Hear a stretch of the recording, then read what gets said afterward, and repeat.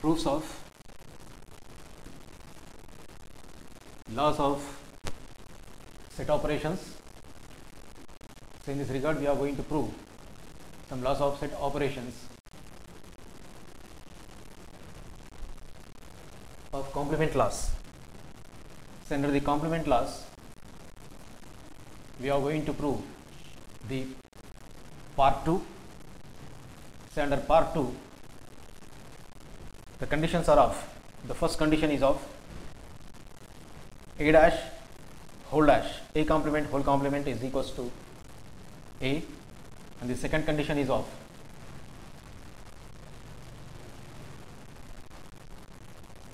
mu complement universal dash is equals to universal set dash that is complement of mu is equals to phi. And the third condition as phi dash is equals to mu.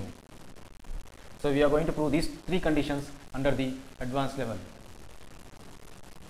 So here in order to prove these conditions, so first of all you have to assume a set that is A, then later you must know the formula of complement of that particular set that is A which is given by means of mu minus A that is set A is subtracted from the universal set that is mu.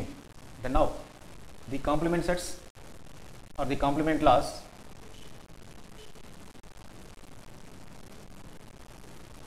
they are of the first one which is of a dash whole dash is equals to a and the second one is of mu dash is equals to phi and the third one is of phi dash is equals to mu. So here we are going to prove these three conditions say here by means of element wise proof.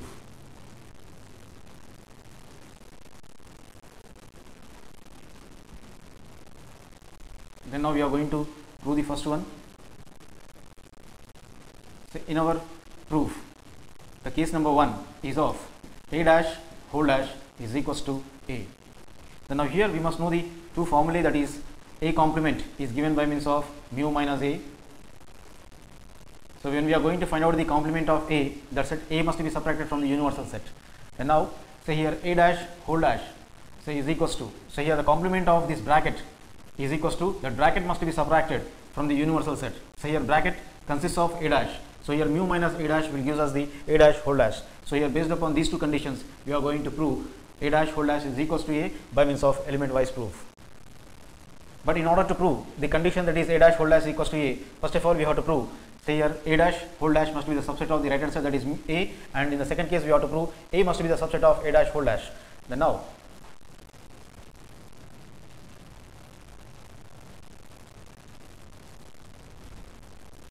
in order to prove the condition which is given is of a dash whole dash is equals to a. We have to prove.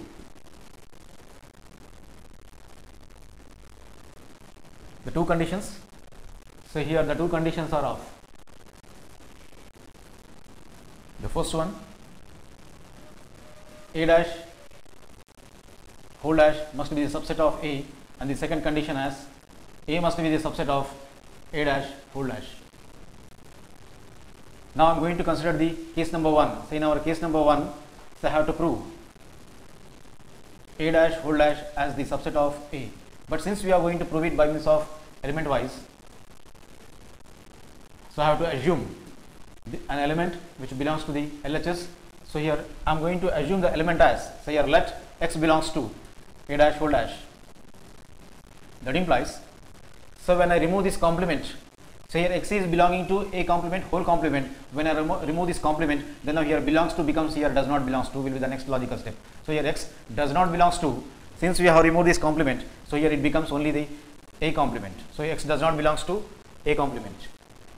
But further if I remove this complement, so here that implies so here x does not belongs to become the belongs to of this particular a. So here I have removed this complement, then now here I have to change so here does not belongs to as belongs to. So in this manner I got. So here then we have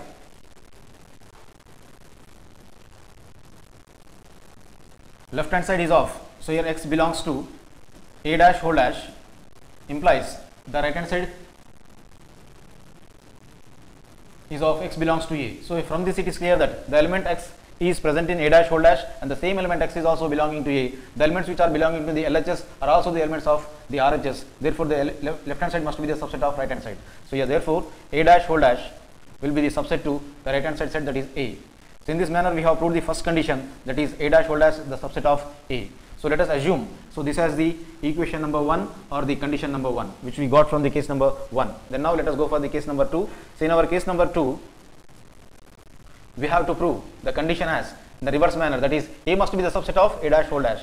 So, here A subset to A dash whole dash. Since we are going to perform this proof by means of the element wise, so we have to assume one element that is x which belongs to the left hand side. So, here let that element be x which belongs to the left hand side that left hand side that is A. Then now that implies when x is belonging to A, so here we can write it as x when I write it as since instead of a if I write it as a complement then now here belongs to becomes the does not belongs to. So, here it does not belongs to so here instead of a I have to write it as a complement. Then now the next logical step will be of So, here since a is the subset of the universal set A universal set that is mu. So, here since a is x is belonging to a but a is the subset of mu, universal set mu therefore, x definitely will be present in the universal set and here. So, here the next logical step will be of that implies so here x belongs to the universal set that is mu but here does not belongs to a dash. So, here x does not belongs to a dash mean. So, we can subtract that a dash. So, here since we have subtracted a dash from the universal set. So, here it mean the x is not belonging to the a dash, but it x is belonging to the only universal set that is mu, but x does not belongs to a dash. So, here instead x does not belongs to a dash we can write it as x belongs to. So, here since the reason is of since a is the subset of the universal set that is mu so, we can write it as x belongs to mu minus a dash. We got this logical step by means of the reason since A is the subset of the universal set that is mu. Then now from this it is clear that so here as per the formula of a dash whole dash we know a dash whole dash as mu minus a dash instead of mu minus a dash we can replace it by means of a dash whole dash. So, here mu minus a dash can be replaced by means of a dash whole dash then now the next logical step will be of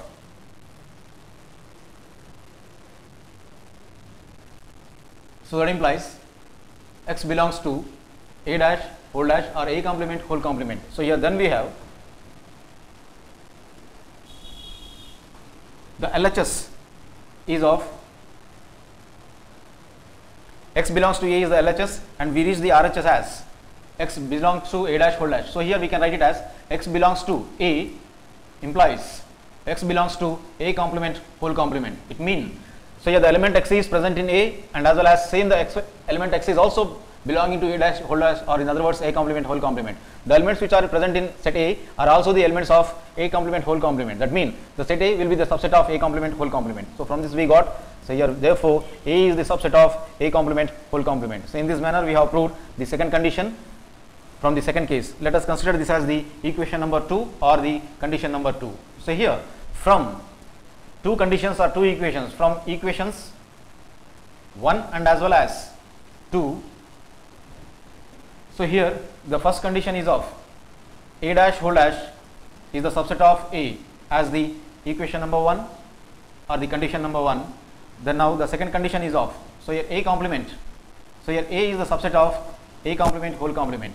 So here let us consider this as the equation number 2 from these two it is clear that a dash whole dash is a subset of A and that A is also again subset to A dash whole dash. From this it is clear that LHS is the subset to RHS and RHS is also the subset of LHS. From this it is clear that LHS and RHS must be equal or equated. So here therefore or hence so here A dash whole dash will be equal to A. So in this manner we have proved the complement law.